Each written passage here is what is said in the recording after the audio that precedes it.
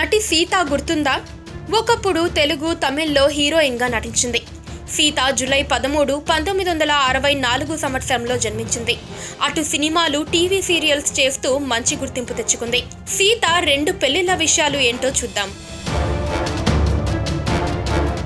సీత పార్థివన్ అనే నటుడిని ప్రేమించి పంతొమ్మిది వందల తొంభైలో పెళ్ళి చేసుకుంది. వీరికి అభినయ కీర్తన అనే ఇద్దరు కూతుర్లు జన్మించారు.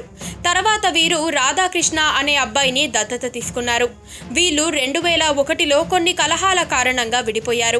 పెద్ద కూతురు సీత దగ్గర పెరిగారు. మరియు చిన్న కూతురు కుమారుడు పార్థివన్ దగ్గర పెరిగారు. తరువాత సీత సినిమాల్లో టీవీ సీరియల్స్లో బిజీగా ఉంటూ టీవీ నటుడు సతీష్ షాని రెండు వేల పదిలో పెళ్ళి చేసుకుంది. ఈ పెళ్ళి సీత సొంత ఊరిలో జరిగింది. వీరు కూడా రెండు వేల పదహారులో విడిపోయారు. కలిసి జీవించడం లేదు అని వార్తలు వచ్చాయి. ఇవే మరి నటి సీత రెండు పెళ్ళిళ్ళ వివరాలు. పక్కనే ఒక గంట సింబల్ కనిపిస్తుంది కదా?